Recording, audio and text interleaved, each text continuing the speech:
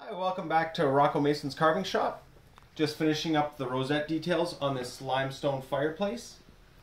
There is a completed rosette detail. There is a rosette that is near completion and we'll start to show you the process of getting it to the final stage.